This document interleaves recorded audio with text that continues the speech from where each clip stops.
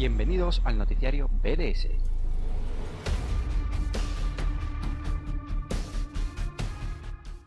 Muy buenas superhéroes, bienvenidos una semana más, un programa más al noticiario BDS, programa 53 que estamos grabando en este domingo 18 de octubre y que nos deja pues una semana cargadita de cositas con varias aclaraciones del mundo de Marvel y algún que otro titular a menor escala, eso sí, de, DC. Y antes de meternos en faena, vamos a presentar como siempre a los participantes, comenzando a ir como siempre con Diego Iván Vera. Muy buenas, ¿qué tal? Muy buenas Álvaro, muy buenas público que nos va a escuchar por medio de las diferentes plataformas. Como siempre un gusto, un gustazo estar siempre nuevamente acá con Álvaro y platicando de las actualidades del mundo del cine de superhéroes. Como siempre, un placer Álvaro. Nada, el placer es mío, como siempre, ya lo sabes. Y bueno, después de entrar un ratito, entrará Error, como ya sabéis, que también es otro habitual. Y vamos a arrancar, como ya es costumbre, hablando de lo que es DC. Y comenzamos de hecho con la pequeña pantalla para irnos a, yo diría, una de las series más secundarias del universo de DC en estos momentos, que de hecho me atrevería a decir que es la gran olvidada por muchos, porque es que de hecho no conozco a mucha gente que la esté llevando al día. Estoy hablando de Pennyworth, esa serie centrada en el, en el, iba a decir centrada en el mayordomo de Bruce Wayne, pero en un tiempo anterior. Es una precuela al universo Batman cuando Alfred y Thomas Wayne, el padre de Bruce Wayne, se conocen para mostrarnos pues ese lado de Alfred que pues no hemos visto tanto en, en las versiones de acción real. Este diciembre está previsto que se estrene la segunda temporada de la serie y bueno, ya van llegando detalles, hemos hecho alguna que otra entrada en el blog las últimas semanas. Y esta semana se han sabido dos incorporaciones para el reparto, lo vamos a comentar muy rápido, esta, porque ya digo, esta serie pues se mueve en un tema que tampoco atrae demasiado, pero bueno, por dedicarle un huequecito. Son las incorporaciones de Simon Manionda, que es el encargado de interpretar a Lucius Fox, que va a debutar a mediados de la segunda temporada. Y después tenemos a Jessica de Go, que curiosamente ya participó en el universo de las series de DC porque interpretó a The Huntress de la cazadora en la serie Arrow. Esto no implica que vaya a haber ningún tipo de crossover ni nada por el estilo. Es un personaje completamente nuevo, se llama Melania Troy, que es una huérfana militar que, bueno, pues va a, ir a ejercer un poquito de, pues, de mujer dura, ¿no? Por en esta época en la que se sitúa la, la serie. Y decir también para los que vayáis a seguirla, que aunque el estreno de la serie está programado para el 13 de diciembre, parece que no va a durar demasiado esa emisión, porque ya han dicho que para finales de diciembre va a haber un, pequeño parón, de forma que tenemos episodio el 13 de diciembre, otro el 20 y ya después el 27 de diciembre pues se va a emitir un, un, final de mitad de temporada con un doble episodio. Y ya han dicho que pues el resto de episodios regresarán en 2021, cosa también lógica porque estamos hablando del 27 de diciembre, pero han dejado ahí en el aire cuándo se va a producir ese regreso. No sabemos si va a ser inmediatamente después en enero o si va a haber ahí un salto temporal. No sabemos exactamente qué, va a pasar. Y bueno, yo nada más no sé si tú Diego quieres añadir algo o si quieres pasar ya directamente a ese tema que, que me has pedido. Ya te lo dejo, te lo dejo a ti. Sí, adelante. Bueno, pues todavía tengo que ponerme al día con la serie, no, eh, la verdad su propuesta no me llama mucho la atención, pero yo también he oído buenas críticas de gente que sí ha habido gente que sí la ha visto, que bueno, es la serie con personajes tipo King, que un factor positivo de tener, algo. A mí pues su trama no me atrae, pero pues no voy a negar que quizás sí hay buenos comentarios de ella. Eh, espero verla en algún punto a ver si cambia mi opinión. Sí, yo eh, un poco he escuchado también lo mismo que tú, que si la ves como algo alejado ¿no? del universo de DC, como que te va a contar algo completamente nuevo, que la vas a disfrutar ahora. Si eso es un forofo de Batman y quieres verlo, pues lo que se sabe de Alfred de los cómics, verlo en la serie, que sí te vas a sentir un poco defraudado, pero que como serie funciona muy bien. Yo la tengo ahí Pasa que creo que todavía no me han puesto en ninguna de las plataformas que, que yo tengo.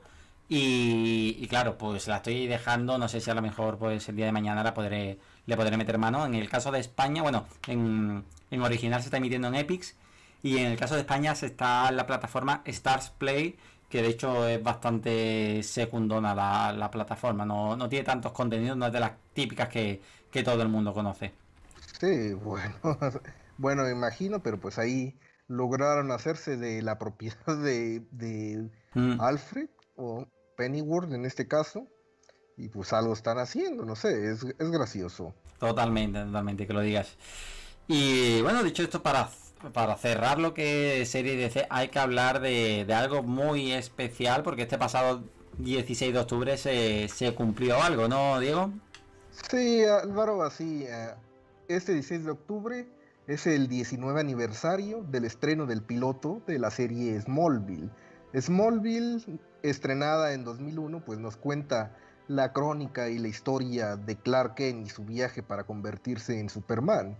Esta serie pues fue estrenada originalmente por, la, por el, el, canal Warner Bros. Channel, así era antes de que se fusionara con otra cadena y pasara a ser lo que conocemos actualmente como CW. Esta pues fue una de las series pioneras, creo, de ese canal y pues realmente para todo lo que significa el mundo de los superhéroes de televisión, pues llegó a ser un parteaguas importante para todo lo bueno y también en medida lo malo que tiene pues, la, televisión actualmente relacionada, que toma inspiración a base de los cómics, a base de los superhéroes. Pero bueno, ahí te va. Eh, Smallville pues surge a principios de los 2000 de la mano de dos guionistas ellos son Alfred Gock y Miles Miller. Son guionistas. Estos guionistas seguramente los habrás oído hablar. Ellos participaron en los borradores previos de Spider-Man 2 de Sam Raimi. Y también pues han tenido una carrera un poco constante en películas. escribieron la, la, cuarta parte de La momia del Emperador Dragón. Creo que fue la última que sacaron con Brendan Fraser en su momento.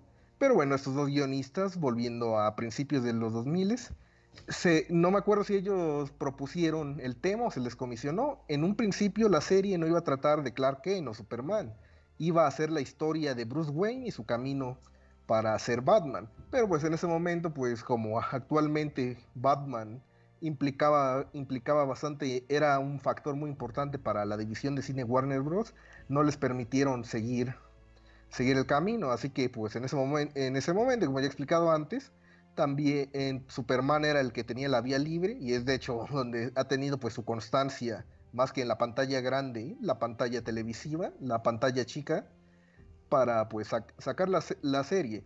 Gok y Miles Miller, eh, Alfred Gok y Miles Miller tuvieron la idea de hacer la serie, la serie pues centrada en los orígenes, reinterpretando bastante la mitología para ver algo que también posteriormente pasaría a volverse en uno, del, en uno de las metodologías para construir personajes de traslados del cómic a la TV, hacer la historia pre antes de que sea Superman. Por eso, bueno, ellos pactaron junto con su equipo de guionistas, en su equipo inicial de guionistas, la, la trama de cómo evolucionará la serie, siempre con la promesa de que durante la serie, a diferencia de otras interpretaciones que ha habido de Superman, no ponerle ni el traje ni la capa ni, el traje ni la capa y también evitar en la mayoría la medida de lo posible las escenas de vuelo o por poder de vuelo. La historia trataría de Clark siendo Superman y también descubriendo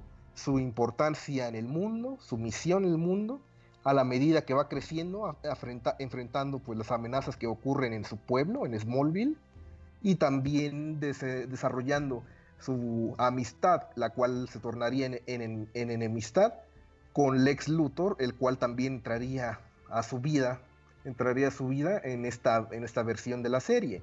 Como sabemos, pues el reparto inicial de Smallville está conformado por Tom Welling, quien hace de Clark Kent, Kristen Cruz, quien, quien hace, hacía de Lana Lang, Michael Rosenbaum, quien es Lex Luthor, Allison Mack, quien era Chloe Sullivan, un personaje original creado para esta serie, Jonathan Kent, interpretado por John Schneider, y a Ned O'Toole, quien hace Martha Kent, la cual ya había participado en Superman 3 en las películas de Christopher Reeve.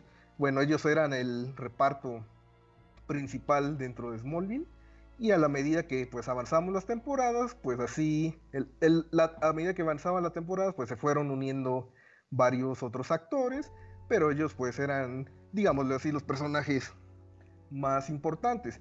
Smallville inicia, inicia no solo con la llegada de Clark Kent a la Tierra, también pues trae todo el mundo, eh, trae todo el mundo de Krypton junto con él a manera de una lluvia de meteoritos, algo que creo que es exclusivo de esta versión de la mitología de Superman, la cual esos meteoritos también trae Kryptonita, la misma que sería un componente para pues desatar todos los tipos de, de amenazas sobrenaturales que, o sobrehumanas que ocurren en Smallville. Esto pues esto aparte, pues para darle un sentimiento, creo que la intención de los guionistas era hacer casos episódicos, era episodios en donde cada caso se relacionaba con estos seres, estos metahumanos que habían ganado los poderes, habían ganado poderes a través de los meteoritos de la kriptonita, siendo esto pues un elemento recurrente al menos las primeras las primeras temporadas del show. Pero bueno, esto también este es a, medida que ocurren, que, transcurren las temporadas, también, pues, también vamos pues tomando en cuenta.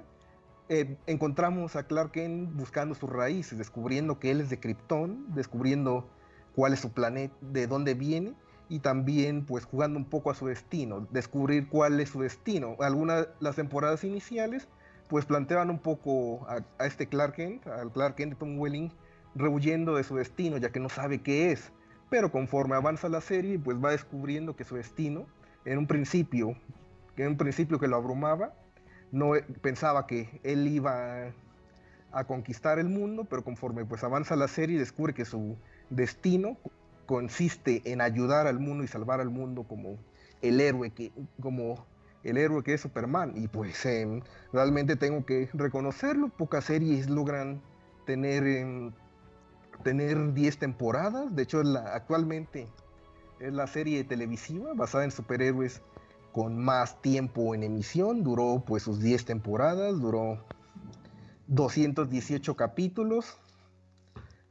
Y al, 218 capítulos. Y bueno, también digamos que abrió un poco la brecha, abrió un poco, abrió un poco, asentó el camino para que más personajes de DC Em, se, adaptaran al formato live action, al formato real, que a partir de la, de la cuarta, quinta temporada es cuando pues, la historia se permite incorporar personajes del vasto universo de DC, algunos personajes como son en sustitución a Batman, el cual nunca pudieron usar dentro de la serie, entró Green Arrow, Flecha Verde, Oliver Queen, llenando un poco ese rol de la dinámica Superman-Batman, pero pues con Flecha Verde, teniendo pues su primera su primera aparición en formato real, lo cual posteriormente, años después, daría pie a Arrow y al Arrowverso.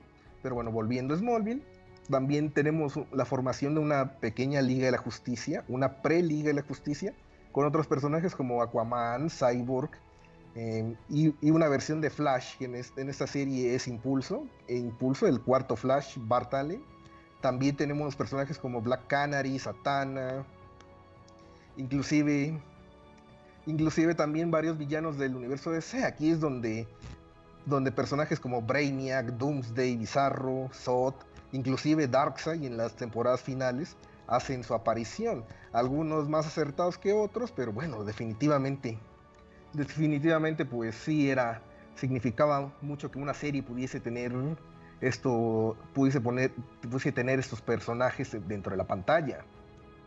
Sí, desde luego es una serie que, marcó un antes y un después. Yo creo que en algún programa especial lo.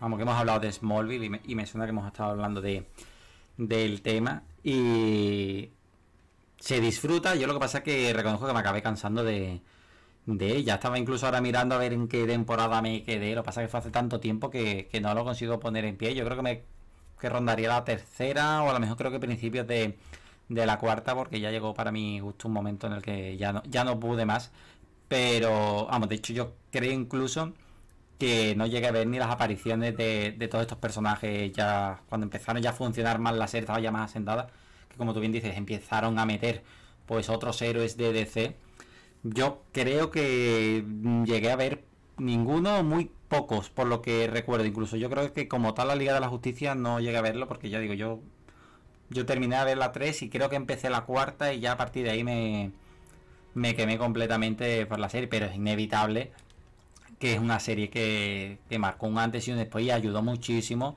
al desarrollo de, de DC en todos los sentidos y que en cierta forma pues dio pie también a, tener una serie como Arrow que como sabemos pues dio también su, su pie a, tener todo ese Arrowverso que se ha creado al fin y al cabo. Así que vamos entiendo que, haya mucha gente que le guarde un, un, gran cariño porque en algunas cosas sí que estaba muy muy acertada aunque un poquito también extendida un poco alargada del tema de, la serie porque también eran otros tiempos donde era más, más normal el, tener ese tipo de desarrollo de, series.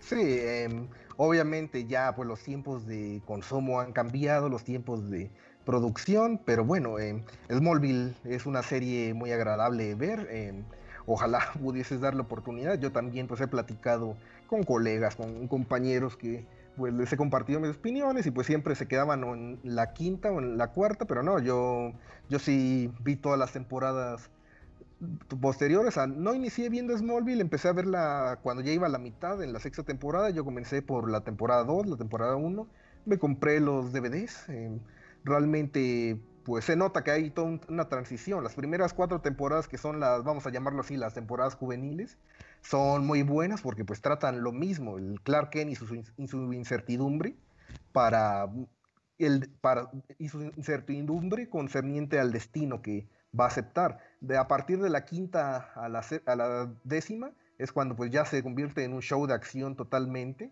ya pues las tramas juveniles se van cortando, ya hay más riesgos, ya hay más... Em, ya hay más, pues, ya apelan mucho más a, la acción. Y pues sí, sí, la verdad, creo que para ser, ser, una serie de ese tiempo pues tenía, tenía pues su grado de efectos especiales no diré que han envejecido lo mejor, pero realmente al menos sus primeras 6 a 7 temporadas eran algo muy notable. La verdad me gustaba mucho lo que desplegaban en pantalla.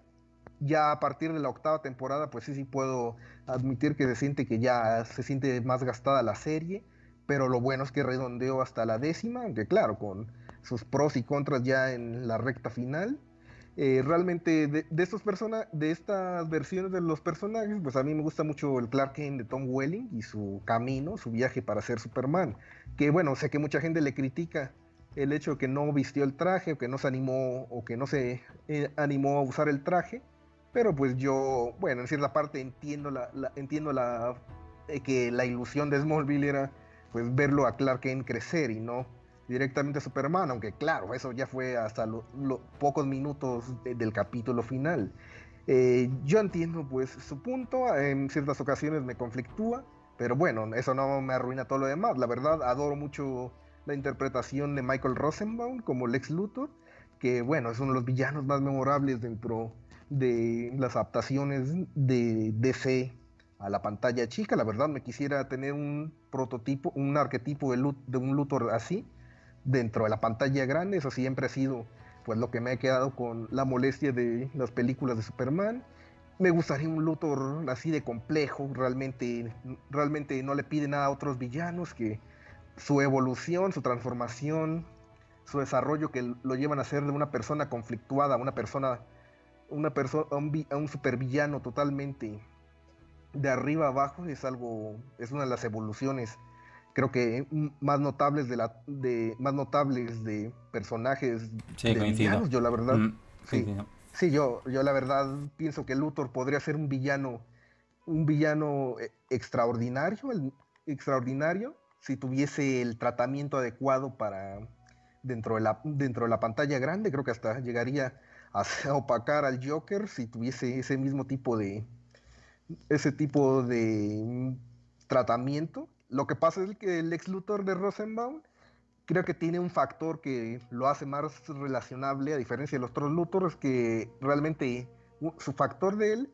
es de que no tiene un Superman al cual envidiar, por lo cual el elemento esto de la arrogancia y la, arrogancia y la envidia no está dentro de su Luthor, lo cual pues hace que hace que pues su, su complejo como villano que su complejidad su complejidad como villano sea un poco más atractiva ese es el único es el factor que lo diferencia de los demás porque bueno tú ves a, a otros actores que han hecho del personaje o inclusive pues lees eh, cómics o ves las series y siempre notas que Luthor su arrogancia es lo que es un factor en parte negativo o sea me gusta como villano pero pues siento yo que su siento yo que mm, su, su arrogancia, su, su, arrogancia y su narcisismo le restan méritos a la hora de enfrentar al héroe. Eso creo que es algo que por default todas las versiones de Luthor tienen, pero Rosenbaum logra hacer algo más introspectivo. Realmente le da cabida porque se hace un villano, por, por qué razón decide emprender este camino, que pues también es la avaricia, pero pues al no tener a un Superman al cual enfrentar, realmente pues se centra en él. Eh, también pues otros personajes muy buenos de esta, muy buenos de esta serie, también tenemos a Erika Durans como Lois Lane, la cual pues entró, debutó en la cuarta temporada. Eh, la verdad mucha gente tiene, tiene sus pros y contras con ella. O sea, realmente es, curioso cómo se va dando su relación con Clark Kent en esta serie, porque al principio comienzan como, como rivales, pero conforme pasan las temporadas y los años, se dan cuenta que pues son el uno para el, para el otro, pero pues es una evolución tan graciosa, tan una evolución tan graciosa y casi orgánica que pues ya cuando se extiende, se, extienden los años, así realmente no voy a negar que de momento sí cae en un dramón, llega en, un, drama de telenovela, pero cuando llegan a este momento, pues es cuando al fin se juntan, em, al fin se reúnen, se reúnen los dos. La, la verdad em, fue, un, fue, un, momento que pues duró sus años. De hecho, no sé si una persona que inició, pues inició viendo la temporada de 2001 aguantó viéndolo, pero realmente sí. Y pues ya, ya la verdad, al ser una serie juvenil, tiene un buen soundtrack, tengo que, tengo que admitirlo, tiene canciones de esa época, de los 2000 que la verdad pues le dan su tono. Hay episodios con, hay episodios con muchas temáticas, con, con, con, varios, eh, con varios estilos. realmente pues era un programa que aunque, aunque básico en propuesta visual, realmente a veces se permitía experimentar e inclusive hay capítulos de flashback, capítulos estilo noir, inclusive terror, eh, capítulos con temática de terror, pues cosas, tributos de superhéroes, o sea, muchas cosas que realmente en sus 10 temporadas exploraron y más que nada pues los momentos, realmente había momentos en que la serie nos hacía, la serie al menos para el público que la había, pues nos daba en el corazón con, creo que momentos que te, que te llegaban, pueden ser entre ellos Em, pues todo el duelo que ocurre con los Kent luego del fallecimiento de Jonathan, toda la historia trágica del ex Luthor, los momentos, em, momentos con Chloe Sullivan, Lana Lang. Em, realmente había, había momentos para reflexionar. Uno de los episodios favoritos del público es aquel donde Clark Kent ayuda a un niño que pues era maltratado por sus tutores y luego pues es un niño con superpoderes, él lo ayuda y se convierte en su héroe, pero pues eh, luego posteriormente el niño fallece lamentablemente en un arco de dos episodios. Realmente, realmente es un... Tenía, sus, tenía momentos que pues te llegaban, realmente. Era una serie juvenil basada con... basada pues en el mundo de Superman, pero aún así pues creo que todos esos elementos se conjuntaban bien, Álvaro, la verdad. Yo la aprecio mucho, creo que es una de mis series, es una de mis series favoritas, es mi serie, es mi serie favorita y una de mis interpretaciones favoritas de Superman. Y pues yo sí, pues le tengo cariño, realmente. Sé que por todos los, todos los defectos que puedan tener, al final, pues la sensación, la, la satisfacción que me dio a mí, lo que pues logran suplir esos defectos, realmente, bueno, creo que es un, es un buen punto para interesarse en los superhéroes, cosa que a mí me pasó a mí, eh, me pasó a mí realmente gracias a pues lo que vi en Smallville, pues me hizo engancharme con el resto del universo DC y los superhéroes. Y bueno, creo que la verdad solo quisiera rematar diciendo que es always hold on to Smallville, que es una frase que suena una frase que dicen al final de, de la serie, siempre aférrate a Smallville, y pues para la gente que quiera y mantenga esta serie en su corazón, la verdad, pues vale la pena totalmente, creo que pues las, son series que, son series, son programas que tú ves y te llegan, si, si te llegan por pues todo lo que te vivió, ya si viviste esa etapa o no, pero realmente pues vale la, vale la pena para mí Smallville, aún en la actualidad. Se nota ese amor que, sientes hacia, hacia la serie y, me gusta además que, hombre, que te haya encantado tanto, ¿no? La serie te haya impactado. Bueno, con este maravilloso especial y análisis de, Diego de, de Smallville, vamos a poner punto y final a lo que es series de DC para dar el salto a la gran pantalla, al universo de cine de DC. Y vamos a, arrancar con una película que nos ha dejado varios titulares esta semana. Estamos hablando de la película Black Adam, que pese a que está de actualidad estos días, es una película que no tiene fecha de estreno. Recordemos que tras el último movimiento de fechas que se hizo, pues se quedó huérfana de fecha. Y sobre todo las noticias que nos han llegado esta semana son por incorporaciones a reparto y sobre personajes que podríamos llegar a ver en, las, en la película, iba a decir en la serie, en la película que va a estar protagonizado por Dwayne Johnson en el papel de Black Adam. Y bueno, lo primero de todo es que ya se ha hecho oficial la incorporación de Sarah Sahi, o Sarah Sahi, o no sé exactamente cómo se pronunciará, pero bueno, al reparto de la película. Esta era la actriz que ya comentábamos la semana pasada que podía llegar a interpretar a Adriana Tomás, a, Isis, ya lo estuvo comentando además Diego, lo estuvo describiendo al personaje. Lo que sí resulta curioso es que no se la coloca para este personaje como tal. Es decir, se habla de que se va a incorporar al papel, incluso ella misma lo ha confirmado, va, que va, que forma parte del reparto de la serie, joder, otra vez, de la película pero se la describe como una profesora universitaria y luchadora por la libertad que lidera la resistencia en Kandak. Yo creo que esta descripción no encaja del todo con, Isis, ¿no, Diego? Bueno, yo creo que aquí habrá un factor. Isis reencarna en Adriana Tomás, pero con un amuleto, eso me faltó mencionar la semana pasada. Es gracias a un amuleto en que Isis pues reencarna en, pues Adriana Tomás, que es su reencarnación en el siglo actual. Ahí puede estar la cuestión de que de momento pues ella pues se va a transformar. Ahora que estábamos hablando de Smallville, curiosamente también hay una participación del personaje de Isis en la serie, en la temporada de décima. Y bueno, en la décima temporada, Álvaro. Ah, pues, pues mira, ahí está bien para, si a alguien le interesa ya y tenéis una pequeña aproximación al personaje, una primera toma de contacto, pues, pues bueno, pues ahí lo tiene, ahí le, queda.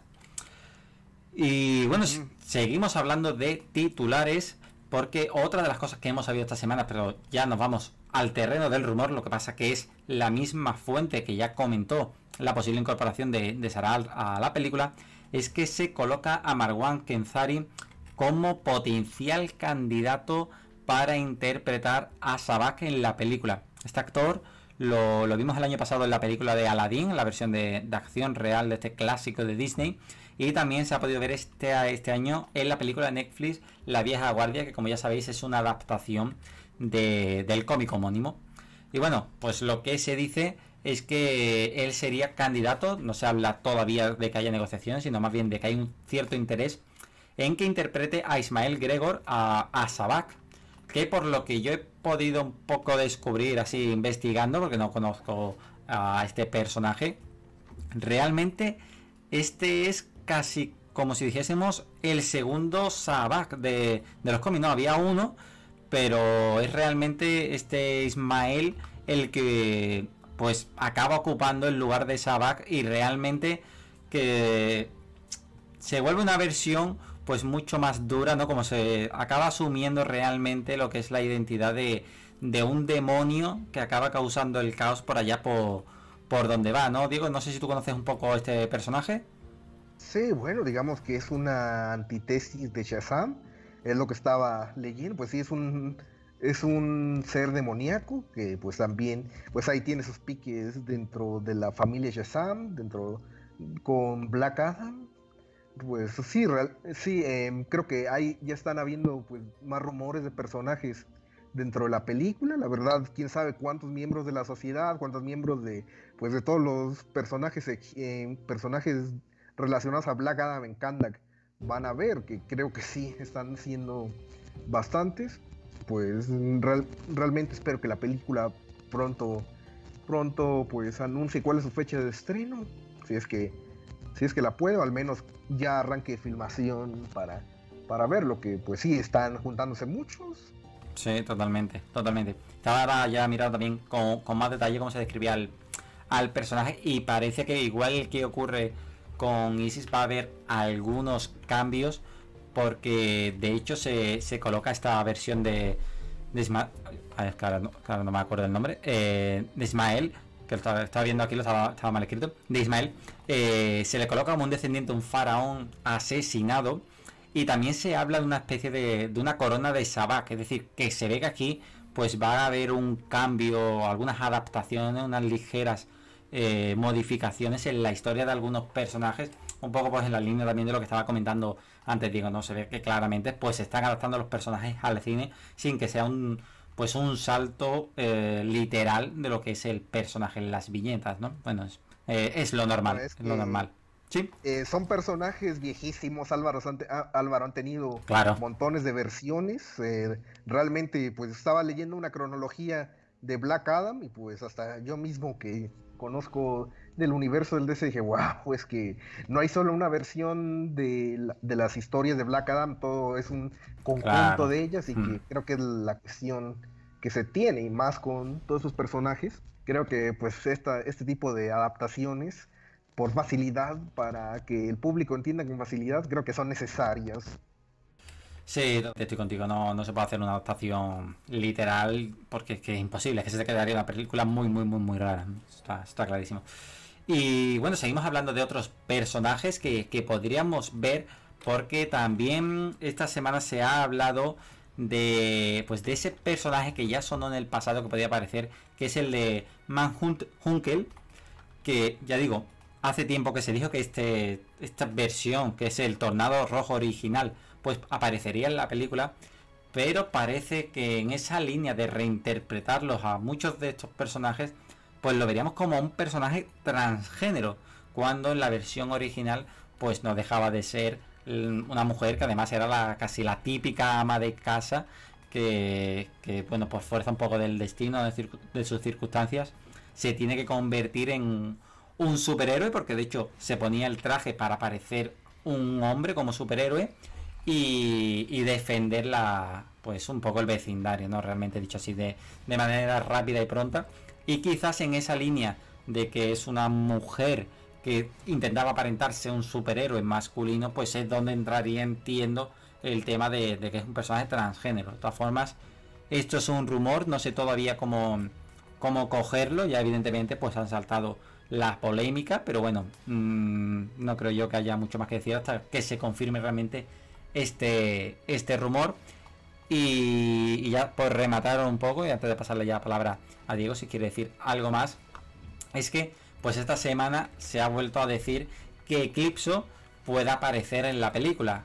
¿Qué pasa? Que esto no nos coge por sorpresa, porque ya el diamante en el que está encerrado el personaje en los cómics, pues aparece en uno de los artes conceptuales que se lanzaron de ese fandom de, la película. Desde entonces ya se viene hablando de la posibilidad de que aparezca Eclipso y ahora ha sonado este rumor, pero que realmente pues yo diría que no aporta mucho, ¿no? Lo único que se empieza a especular con la posibilidad de que él podría ser quien ayude a, encerrar, a encarcelar a Black Adam, que eso es algo que el propio Dwayne Johnson cuando estuvo contando la historia del personaje en DC pues eh, decía que al final tuvieron que encarcelar a Black Adam por sus actos, ¿no? O como él decía, o como decía Dwayne Johnson, por hacer lo que se tenía que hacer. Y bueno, pues por ahí va un poco las teorías, pero es más tema de, especulación. No sé si tú quieres añadir algo, Diego. Sí, bueno, respecto a Mahunkel, em, creo que veo un poco, un poco válido el cambio de hacerlo un personaje transgénero, que pues ahí tiene la eh, está la cuestión de que pues era una mujer que se disfrazaba y aparentaba ser hombre o, aparentaba ser hombre, que realmente creo que está muy, está muy justificado, que está muy justificado pues eh, su aparición, en su cambio. Realmente también es un personaje secundario, ella ejerce como, eh, de acuerdo pues a, nuestra entrada, pues ejercería en esa película como cuidadora de el museo de Hawkman. Correcto. Del cual, sí, eh, lo cual también en cierta parte es cierto, porque pues la Ma Honkel, la abuela Honkel, casi, casi, bueno, casi, eh, ella tiene, al ser, es parte de la Sociedad de la Justicia, y ella es la abuela de Cyclone, la cual también, pues, se viene para esta película y está entre los miembros de la sociedad actual. Habrá dos sociedades de la justicia, la de los 40, la del pasado y la del y los miembros del presente, algunos miembros pues de la del pasado se pasarán a la del presente, pero pues ahí creo que ahí tiene la justificación de que pues esté Mahon que la ahí. Eh, hablando también, eh, eh, también pues ahí tendría cabida. Respecto a Eclipse, bueno, Black Adam no solo ser, no, al ser protagonista, no solo será la amenaza a vencer por parte de la sociedad, también ahí tiene que entrar el factor de el factor de pues de este de este ser de Eclipse el cual, por cierto, no sé tú, pero yo lo veo muy parecido al Duende Verde en, en, términos de diseño. Sí, se, sí, se da, se da un pero que después no tiene nada que ver a nivel de poder ni nada, pero es cierto que visualmente, dice otra, parece una reinvención, no sé cuál fue primero, pero tienen ahí un punto en común, es cierto. Sí, em, lo, lo, cual es curioso. Eh, Eclipso tiene un nombre bastante, bastante curioso, su nombre es Bryce Gordon o sea, que ahí, o es Bruce Gordon, Bruce Gordon, eh, pues ahí realmente no se rompieron la cabeza al, al crearlo, porque, bueno, Bruce Wayne, Jim Gordon, no sé si ya habías caído en la cuestión. No, no me había fijado el nombre, porque es que el nombre real no, a lo mejor lo puse, pero ni lo leí, ni me di cuenta, ni me di cuenta de eso, la verdad. Bueno, son varios, son varios personajes que han asumido el manto, pero ese es el, creo que el principal. Eh, la, Creo que ese, es el principal. Bueno, em, ya está, ya está ahí. O sea, debe haber un, debe haber un villano, debe haber un, debe, debe haber un antagonista a vencer que pues reúna a Black Adam con la Sociedad de la Justicia que va a haber y pues sí es un es un villano poderoso creo que tiene tiene habilidades de mágicas interdimensionales sí pues yo lo que pasa que como tampoco controlo mucho de mm, de este universo, la verdad que tampoco me atrevo a, decir demasiado porque creo que la puedo cagar más que, decir algo, algo cierto. La verdad, no me fío ni un pelo de mí mismo para este tipo de. para esta película en concreto. Aunque me tengo que hacer un pequeño maratón antes de, de que se estrene la película, a ver si eso también nos lo planteamos cuando se vaya a estrenar, a ver si pues unos meses antes hacemos un, especial de, por lo menos de recomendaciones, ¿no? De, de cómics por tener una, una idea, ¿no? De, de lo que vamos a ver en la película. Y bueno, creo que ya está por ahí. Error, muy buenas. ¿Nos escuchas? Sí, sí. Perfecto. Bueno, pues te paso la bienvenida, evidentemente, y te paso la palabra. No sé si quieres comentar algo de todo lo que hemos dicho de Black Adam. A, tu gusto, vamos. Sírvete.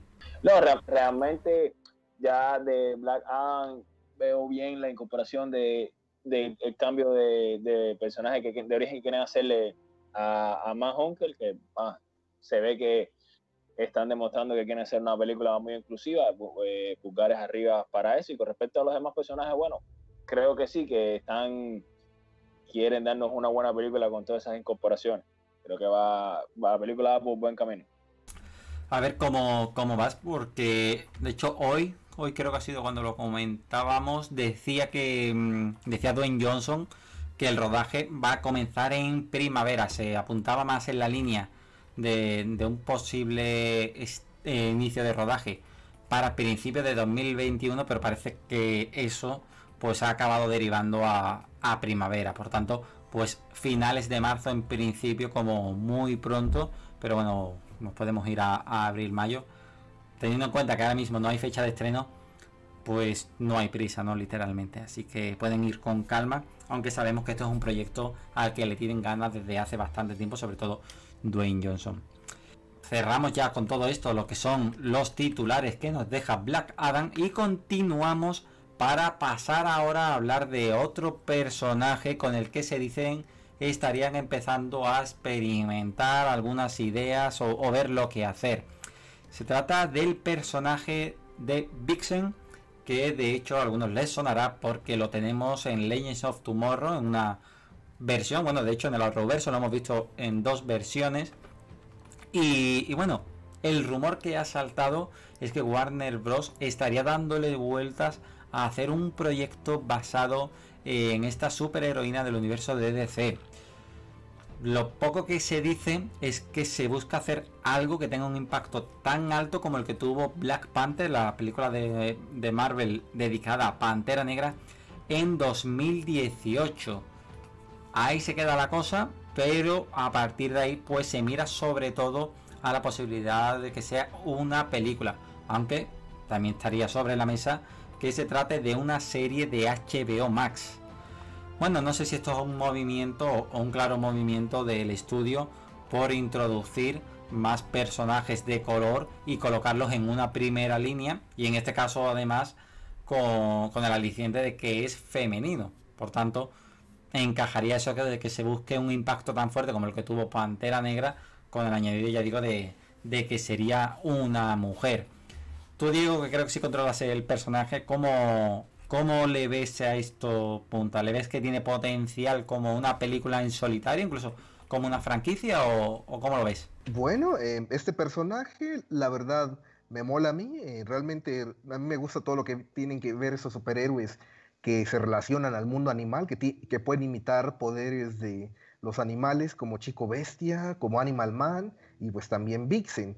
Eh, pues depende qué tanto podemos indagar o explorar en su historia. Mira, la historia básica de Vixen es que es, ella es Mary McCabe, una chica que, pues, una chica que nacida, eh, oriunda, oriunda de, de Zambezi, en África, la cual, pues, su, su, abuela, su familia le legó un tótem especial, un tótem mágico, con el cual puede controlar el ashe o la energía de todos los animales existentes en la Tierra, así como de algunos animales que ya llevan extintos.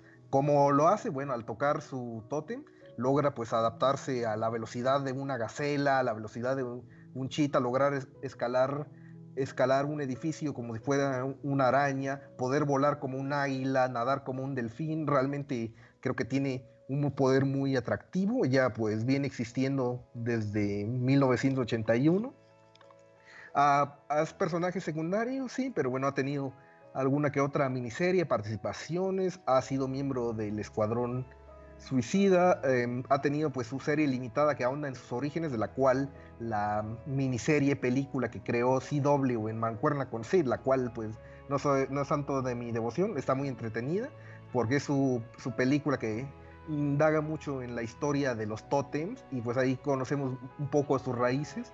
Es su hermana con la cual tiene una rivalidad, Huasa, que ella pues también adquiere otro tótem, al menos en esta versión tengo entendido que este, este tótem pues, le permite a su hermana ser su, pues, es su, es su rival de ella, por la cual pues está un poco resentida su hermana por toda la cuestión de la tragedia de su aldea y cómo ella pues logró escapar, pero pues su hermana le tocó, le tocó pues lo peor, cosa que también pues reflejan en el, en el Arrowverso, las versiones que, las versiones que vimos ahí, en, las, entre la, en la segunda y tercera temporada de Legends.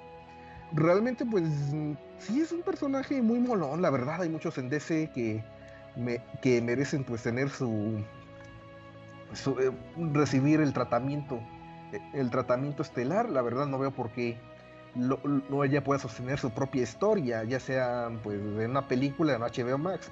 El problema pues es lo que venimos comentando ya hace tiempo, es la cuestión de para cuándo, para cuándo estaría, que pues no es la primera personaje femenina, que ahí también está Satana, la cual pues anuncia su proyecto, pero no sabe qué, qué rumbo hacerlo.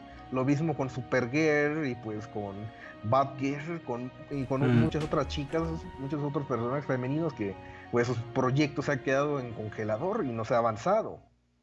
Sí, yo creo que precisamente con la situación ahora mismo en la que estamos, todo esto se ha, se ha agudizado, ¿no? Y por eso tampoco yo creo que estamos teniendo anuncios, aunque sí habiendo muchos rumores de, de lo que podríamos ver y personajes que podrían tener su desarrollo, pero al final todo se queda en nada porque no, no pueden avanzar, ¿no? Y bueno, pues también lo entiendo. Eh, Errol. Sí, a, a, mí yo vi la película que comenta Diego y vi su, las participaciones de ella en Justice League Unlimited, que ella tiene, ella participa en varios capítulos, incluso es el, llega a ser pareja de, de John Stewart en la serie. Ya en, su, las versiones live action no, no las vi porque dejé Arrow antes en la temporada anterior que apareciera. Pero sí, como comenta Diego, es un personaje bastante entre bastante pe, peculiar y bastante eh, entretenido de ver, con unos poderes interesantes. Creo que sí que puede ser puede ser una buena una buena incorporación al universo de DC, tanto en serie como, como en película. Me parece que puede ser es bastante interesante para tratar con este personaje. Y sí, es, obviamente, como, como bien comentabas, Álvaro, tiene, como son raíces africanas, se parece un poco a, a pueden hacer algo como Black Panther. No sé si alcanzar la misma magnitud, porque no, no sé si cuando haces la copia, la, la, copia no llega tanto como el original, pero bueno, eso habría que ver en, en cómo lo van a hacer y el momento que llegará a valorar mejor. Y hablando de Black Panther, se estaba mencionando a Lupita Nyong'o como eh, pues la prospecta interesada para ese papel. Bueno, pues creo que me molaría, sí, es que realmente, wow, es que, bueno, no sé qué tanto futuro tenga Nakia dentro de Black Panther, porque bueno, siempre estaba la cuestión de qué, de qué pasaría si, porque creo que Nakia en los cómics tiene, tiene un giro de que se vuelve antagonista de Black Panther o algo así había algo así había leído en su tiempo. Realmente pues me gustaría ver a una actriz así haciendo pues de este personaje que pues sí es muy molón no, no, voy a no voy a negarlo y pues creo que sí tendría pues su atractivo visual. Es que realmente es que realmente pues imagínate una mujer de color corriendo ju junto con las gacelas así algo o sea sí visualmente visualmente quedaría muy molón eso, eso está claro. Sí de, Sí, tenerla así, contemplando las, la, la, pradera, la llanura africana, es que realmente, es que realmente sí tiene potencial, junto con uh, este personaje, junto con Storm, que también tiene Storm de los X-Men, Tormenta de los X-Men, es un personaje, son personajes que, pues, estos personajes africanos que realmente, pues, tienen, tienen historias muy bellas dentro de los cómics, que, pues, creo que sí vale la pena pues darles proyección, darles proyección, pues ya sea en el formato que sea. Sí, creo que, que podría encajar, no sé ya si por eso de que es un personaje más bien secundario, pues darle tanta importancia como para tener su película en cine, pero bueno, siempre está ya HBO Max, que en un momento dado, como bien dices, pues puede ser su hogar, ¿no? Me, me encaja eso bastante. Y bueno, como último titular, que lo voy a dar así rápido para, para lo que es el cierre de cine de DC, pues decir que esta semana se ha confirmado que el actor Michael, Michael Bay Jordan, al que conocemos por las películas de Creed, esa continuación de, la saga de Rocky, al que incluso vimos también como villano de Black Panther, donde precisamente estamos hablando de, del tema, pues va a producir la película de Static Shock, que recordemos, un proyecto de acción real que se anunció en la pasada DC Fandom, y de hecho estuvimos hablando en el episodio de, del noticiario BDS correspondiente de la importancia que tuvo este personaje. Y bueno, pues este es el primer nombre que se suma al proyecto, aunque no en calidad de protagonista. De hecho, también encaja porque por tema de edades, creo yo ya que Michael B. Jordan no está para interpretar un personaje como, como este, ¿no? Pero bueno, esto es importante porque significa que el proyecto va dando pasos hacia adelante. Y lo más curioso, lo que más me ha llamado a mí la atención, es que en las palabras oficiales de Michael B. Jordan, hablando sobre su incorporación al proyecto, dice literalmente, estoy orgulloso de ser parte de la construcción de un nuevo universo centrado en los superhéroes negros.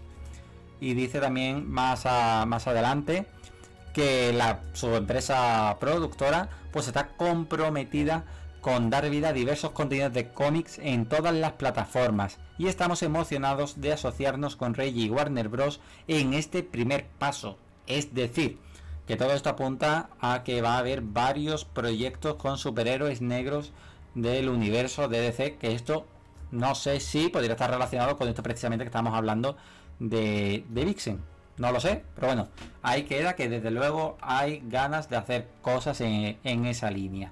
Con esto, como decía, nos vamos de, la gran pantalla y antes de dar un cierre definitivo a DC, tocas irnos al mundo de animación para hablar de esa película de animación pero interactiva titulada Batman Death in the Family, Batman Muerte en la Familia, que ya está disponible y evidentemente ya tenemos la crítica, la reseña publicada en el blog, la hemos publicado precisamente este domingo.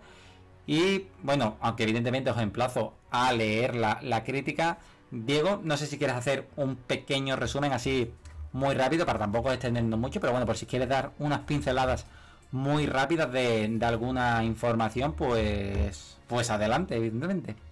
Sí, bueno, la película, el cortometraje interactivo DC Showcase Dead in the Family, la verdad me, me gustó, es muy, es muy buen ejercicio interactivo.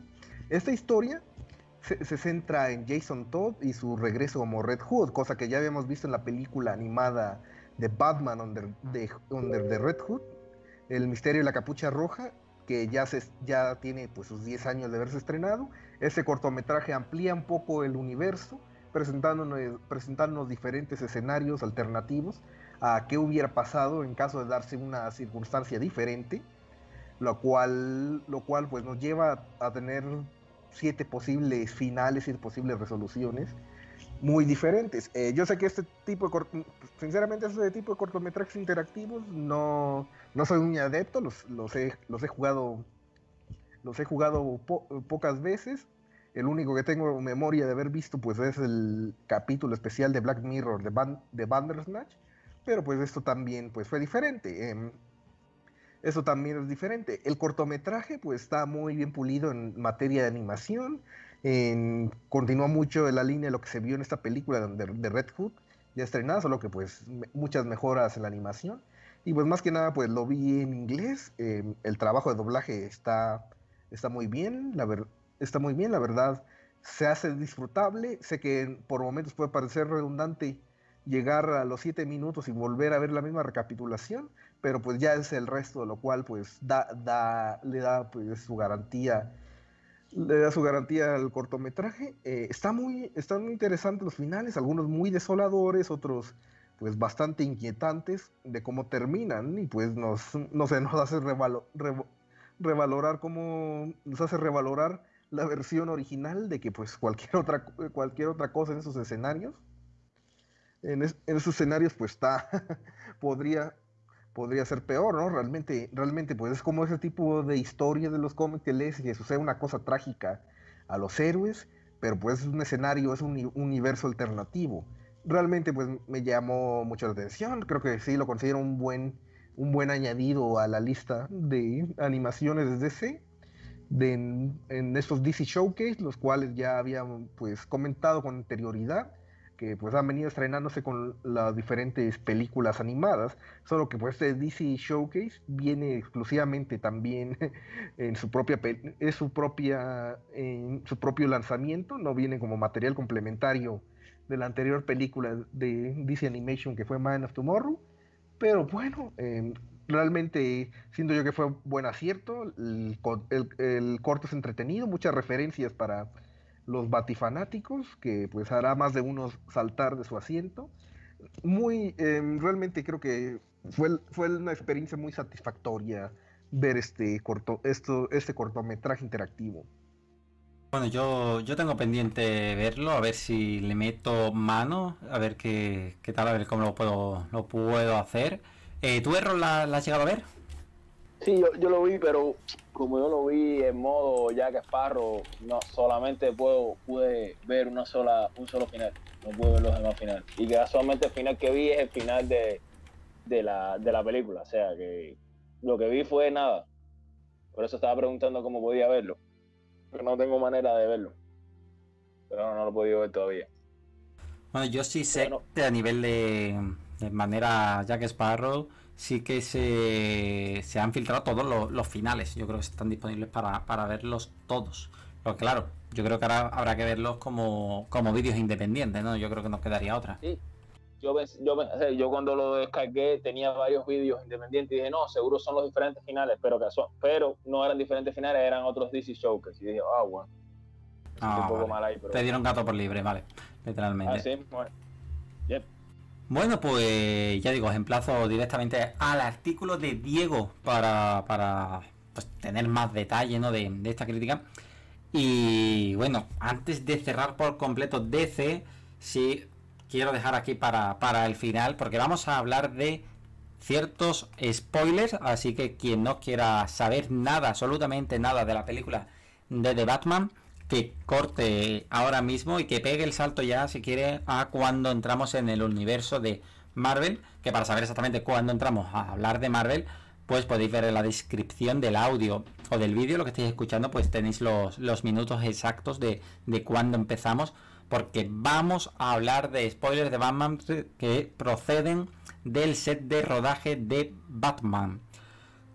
Como ya sabéis, esta semana pues ha estado rodando la película sobre todo en Liverpool y alguna que otra escena en Chicago, dando pie a que se filtre una importante cantidad de imágenes y de vídeos de, ese rodaje donde además hemos tenido el reparto principal participando.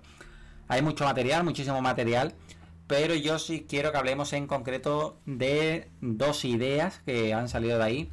Por un lado, es cómo luce visualmente, para preguntaros ahora de una manera muy rápida, porque vamos justito de tiempo para tampoco extendernos mucho, de una manera muy rápida, el tema de la caracterización de los personajes y por otro lado de esa referencia parece ser cruzada entre universos, bueno, esa referencia que ha habido ahí a otros héroes de DC que hemos visto en las últimas imágenes de estos últimos días, que han dado pie también a ciertas especulaciones. Comenzando con la caracterización, bueno, yo creo que está más que claro que nos estamos, pues la película va a beber muchísimo de lo que es el largo Halloween. Hemos visto a los personajes luciendo unos diseños, unos aspectos prácticamente sacados de las viñetas. Y a mí, por lo que he visto, a Pattinson es cierto que como Bruce todavía yo no termino de, de verlo, lo reconozco, no me, no me transmite, no sé si cuando lo vea más en movimiento me, llegará a llamar, pero las imágenes del set no, no me consiguen convencer. Pero al resto de personajes, del resto de actores, sí que me ha gustado bastante. Incluso ese, ese pingüino de Colin Farrell, aunque es cierto que de altura, como que, que le falla un poco, ¿no? Porque es demasiado alto. Pero por lo demás, a mí me gusta lo que estoy viendo. Vamos, yo tengo, le tengo bastante ganas. No sé cómo lo veis vosotros. Bueno, yo veo las, las caracterizaciones acertadas, me, me mola mucho. Eh, sé que pues la gente todavía tenga sus dudas con respecto a Pattinson. yo creo que pues su Bruce va a ser más sombrío, tanto su Bruce como su Batman. Espero que espero que logre pues completar eso. Eh, respecto a Colin Farrell como Oswald Cobblepot, eh, me, está, muy bien su maquillaje, la verdad creo que es otra persona, realmente sí me la puedo llegar a creer que es otra persona y no él, eh, es con un remite, yo vi una imagen esta semana en Facebook donde remite mucho al pingüino de los juegos de Arkham o a ilustraciones hechas por el propio artista, sí, o ilustraciones hechas por el propio artista Alex Ross, en donde se asemeja bastante, o sea, creo que la idea es que es un es un pingüino aterrizado a la, realidad, que eso aterrizado al mundo un poco más verosímil, de lo que, bueno, esto también en los universos de, los cómics y también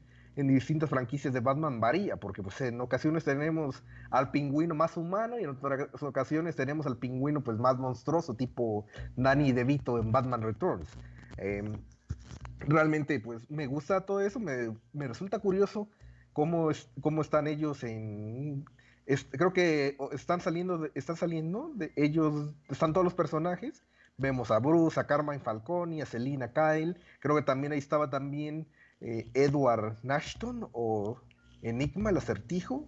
No, bueno, esa imagen al final, finalmente no eran. Esa imagen era de otro set, esa se coló.